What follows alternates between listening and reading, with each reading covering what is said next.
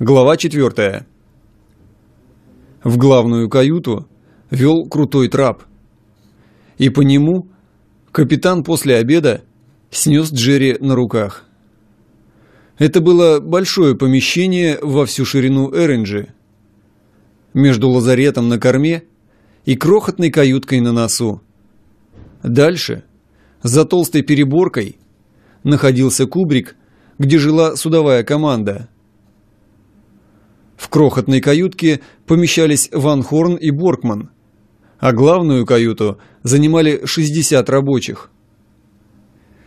Они сидели на корточках, валялись на палубе и на длинных скамьях, тянувшихся по обеим сторонам каюты. Войдя в маленькую каюту, капитан бросил в угол одеяло и дал понять Джерри, что это его постель. Джерри, плотно пообедавший и утомленный после такого суетливого дня, немедленно заснул. Час спустя его разбудил вошедший Боркман. Джерри приветливо завилял обрубком хвоста и улыбнулся. Но помощник нахмурился и сердито проворчал что-то сквозь зубы. Тогда Джерри перестал улыбаться и только спокойно за ним следил. Помощник зашел глотнуть спиртного. Он таскал выпивку из запасов Ван Хорна. Джерри этого не знал. На плантации ему часто приходилось видеть, как выпивают белые. Но в манерах Боркмана было что-то необычное. Он пил, как будто из-под тишка, украдкой. И Джерри смутно это осознавал. В чем тут дело, он не знал, но, почуяв что-то неладное, подозрительно присматривался. После ухода помощника Джерри мог бы еще поспать, но неплотно прикрытая дверь с шумом распахнулась. Открыв глаза, он приготовился встретить неведомого врага, но никого не было. И он стал следить за тараканом, ползущим по переборке. Когда Джерри встал, и осторожно направился к нему. Таракан удрал. Скрылся в щели. С тараканами Джерри был знаком всю свою жизнь. Но на Эренже обитала особая порода. И, столкнувшись с ней, ему еще суждено было узнать много нового. Наскоро обследовав маленькую каюту, он вышел в большую.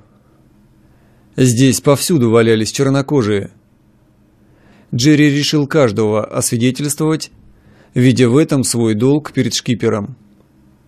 Они хмурились и потихоньку ругались, когда он к ним принюхивался. Один осмелился пригрозить ему кулаком. Но Джерри, вместо того, чтобы увернуться в сторону, оскалил зубы и приготовился к прыжку. Чернокожий поспешно опустил руку и стал тихо и ласково бормотать что, конечно, говорило о раскаянии. Товарищи его захихикали. А Джерри прошел мимо. В этом не было ничего нового. От чернокожих всегда следовало ждать удара, если поблизости не было белых. И помощник, и капитан находились на палубе. И Джерри, хотя и не трусил, но продолжал свои исследования более осторожно. Но у входа в лазарет, на корме, он позабыл о всякой осторожности и ринулся навстречу новому запаху, доносившемуся до его ноздрей.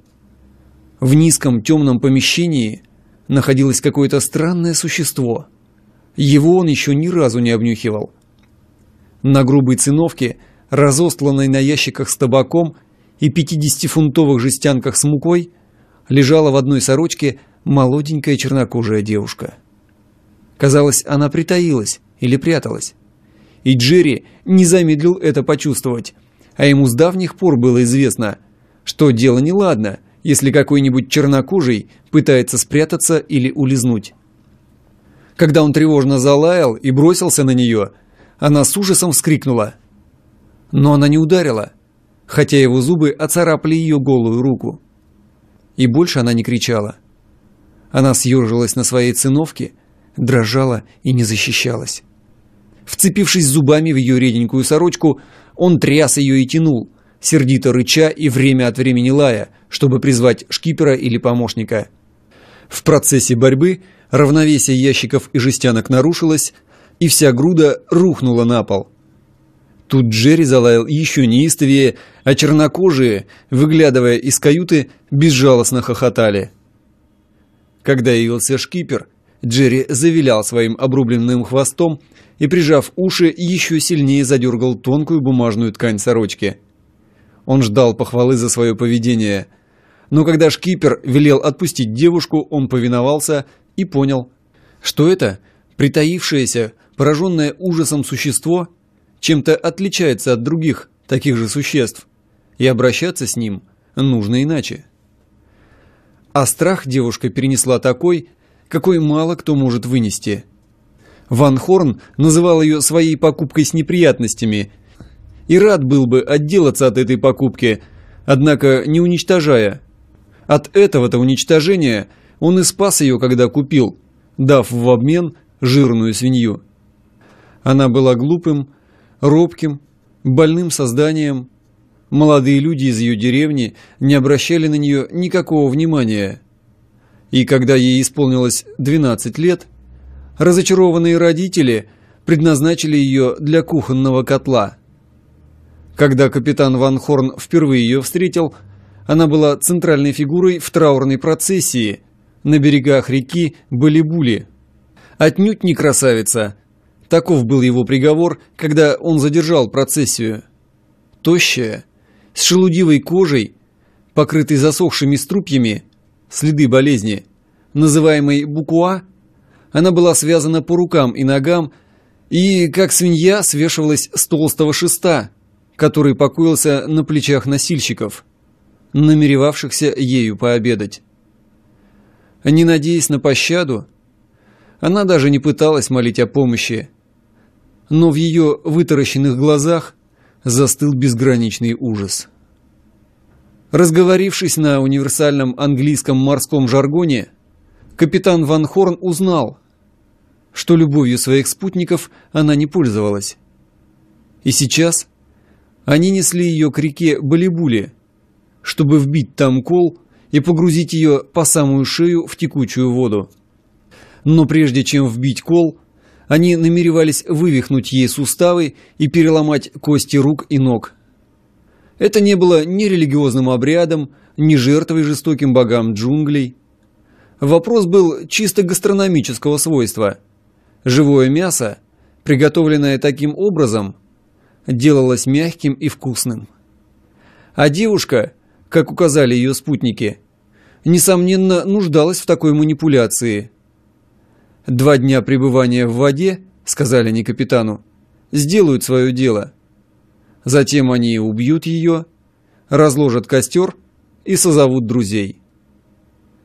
Капитан Ван Хорн торговался около получаса, доказывая, что девушка никакой цены не имеет. Затем купил свинью стоимостью в 5 долларов и отдал в обмен на нее. Так как он расплатился за свинью товаром, а товары были расценены вдвое выше стоимости, то в действительности – девушка обошлась ему в 2 доллара 50 центов.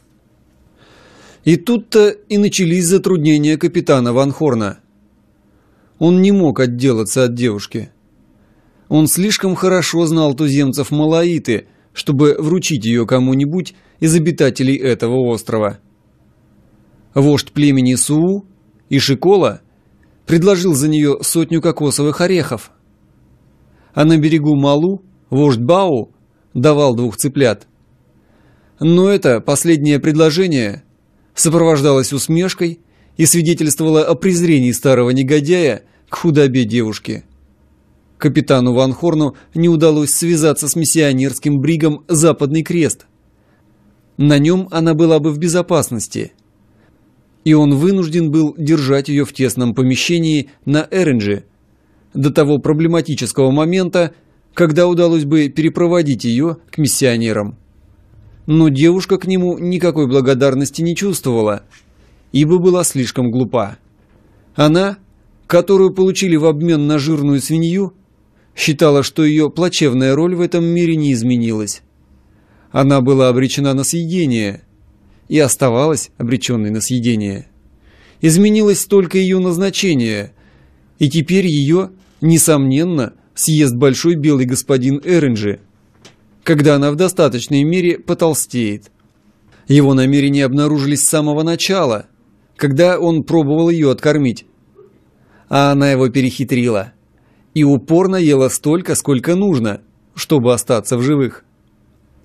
В результате девушка, проведя уж всю жизнь в лесах и ни разу не ступив ногой в лодку, теперь без конца носилась по поверхности океана в каком-то кошмарном тумане. На морском жаргоне, распространенном среди чернокожих тысячи островов, пассажиры Эренджи подтвердили ее страх. «Я тебе говорю, Мэри», — заявлял один, — «скоро этот большой парень, белый господин, тебя кай-кай». А другой подхватывал, «Большой парень, белый господин, тебя кай-кай». Я тебе говорю, у него живот разгулялся. Кай-кай на этом жаргоне значило «есть». Даже Джерри это знал. Слово «есть» не было в словаре, а «кай-кай» было, и означало оно больше, чем «есть», так как служило и существительным, и глаголом. Но девушка никогда не отвечала на поддразнивание чернокожих. Она вообще все время молчала и не говорила даже с капитаном Ван Хорном, который и имени ее не знал. Концу дня, после приключения с девушкой в лазарете, Джерри снова вышел на палубу. Шкипер, держа его на руках, поднялся по трапу и едва опустил на палубу, как Джерри сделал новое открытие – земля. Он не видел ее, но обонял, высоко задрав нос. Джерри расположился с наветренной стороны и стал внюхиваться в воздух, который принес весть о земле. И носом он словно читал в воздухе, как человек читает газету. Он почуял соленые запахи морского берега и влажной грязи болот, благовонный аромат тропической растительности и очень слабый, едкий запах дыма тлеющих костров.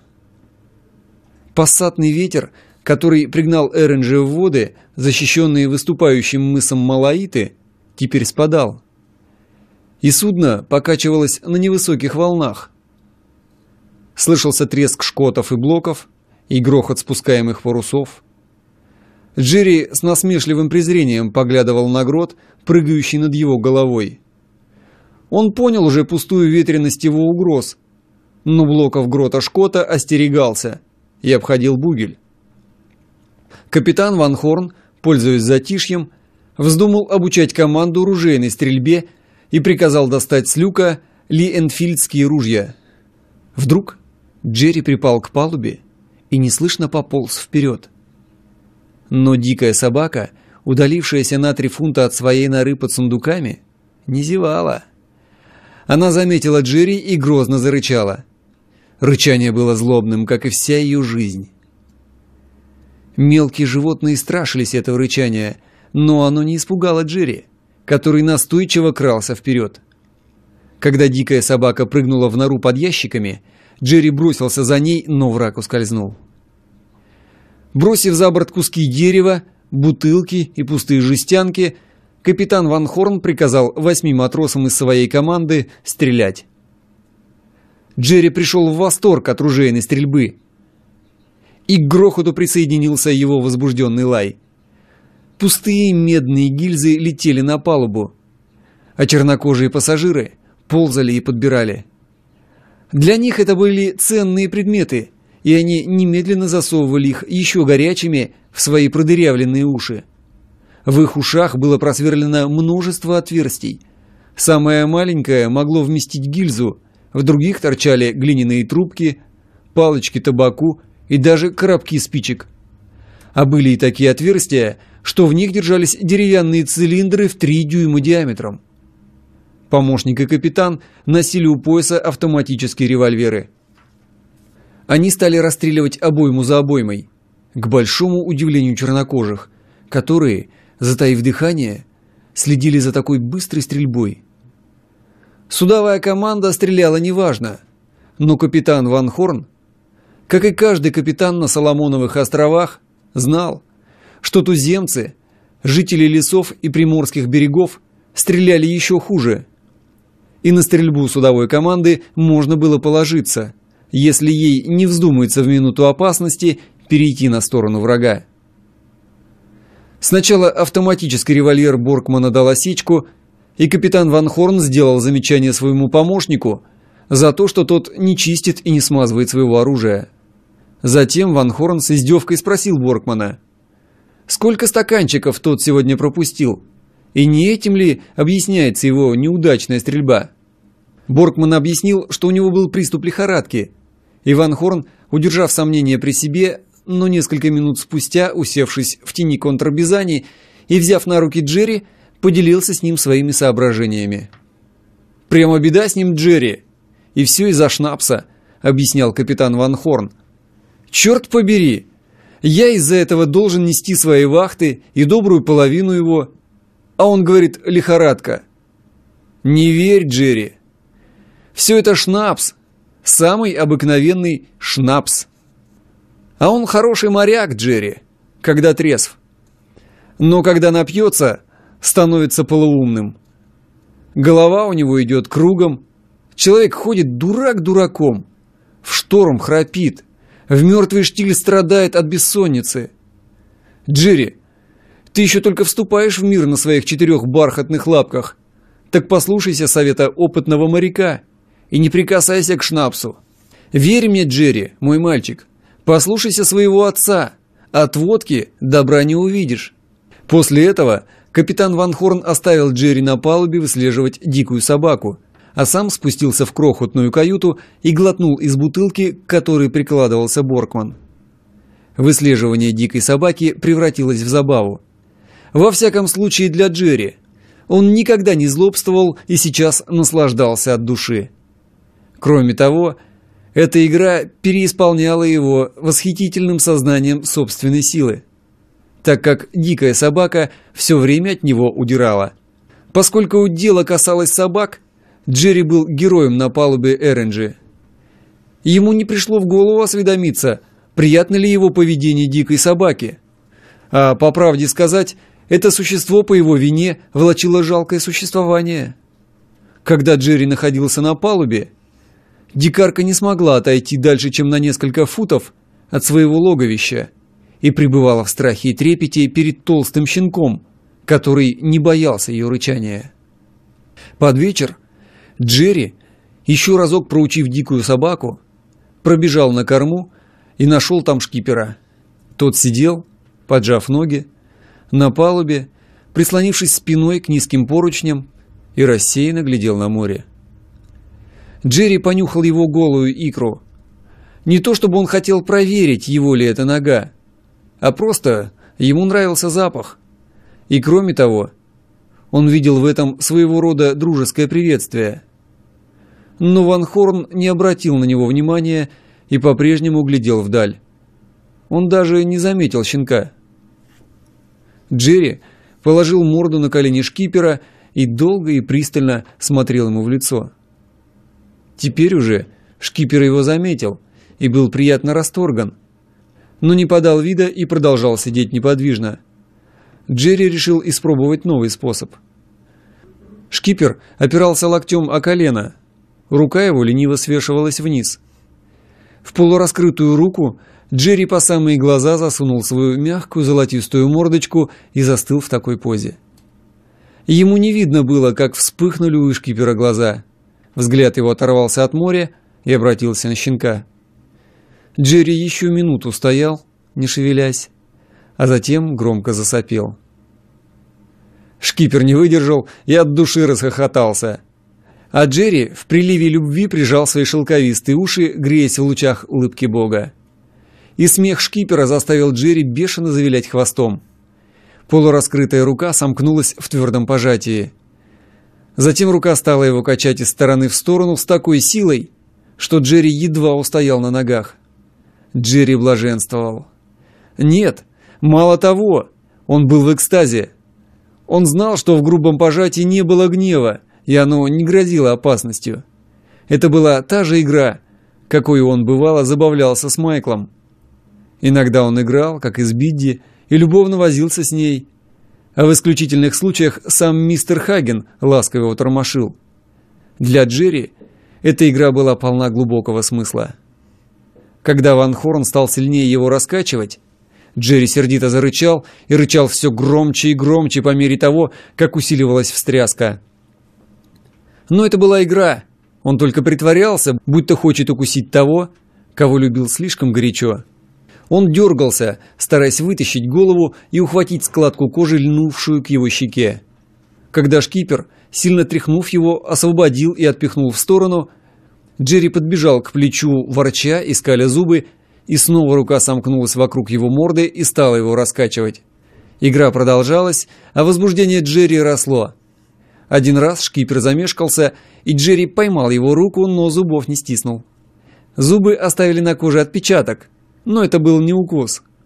Игра становилась все грубее, и Джерри забылся. По-прежнему играя, он до того увлекся, что принял игру за подлинное событие. Это было сражение. Борьба с рукой, которая его хватала, трясла и отпихивала. Он больше уже не притворялся и рычал по-настоящему. Когда его отшвыривали назад, и он снова бросался в атаку, из груди его вырывался истерически звонкий щенящий лай. И капитан Ван Хорн, внезапно поняв, протянул раскрытую руку как символ мира. Символ столь же древний, как человеческая рука. И в то же время он произнес одно только слово «Джерри». В этом слове было все. И властный упрек, и приказание, и вся настойчивость любви. Джерри понял и сразу пришел в себя. Он сейчас же раскаялся, смирился, уши откинул назад, моля о прощении, а сердце его затрепетало в приливе любви. Нападающий пес со скаленными клыками превратился в мягкий, шелковый комочек. Он рысцой подбежал к протянутой руке и лизнул ее. Розово-красный язык блеснул, как драгоценный камень, между двумя рядами ослепительно белых зубов. А через секунду Джерри блаженствовал в объятиях шкипера и прижимался мордой к его щеке и лизал, словно хотел поцелуями заменить членораздельную речь. Это был подлинный праздник, и оба от души им наслаждались. «Черт бы меня побрал!» – забормотал капитан Ван Хорн. Ты весь клубочек натянутых нервов золотым сердцем. И все это обернуто снаружи в золотую шкурку. Джерри, ты золото, чистое золото. И во всем мире нет второй такой собаки. Сердце у тебя золотое, золотой мой пес. Люби меня, и я буду добр к тебе, и я буду тебя любить всегда, во веки веков. И капитан Ван Хорн вдруг заморгал, его глаза затуманились, и секунду он не видел щенка, который в приливе любви весь затрепетал в его объятиях и слезнул соленую влагу с его глаз. А ведь Ван Хорн, шкипер Эренджи, босой, в шестипенсовой рубахе и на бедренной повязке, торговал черной птицей.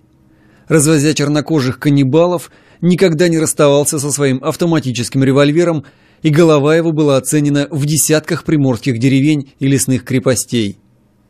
Он считался самым крутым шкипером Соломоновых островов, где выживает только тот, кто жесток.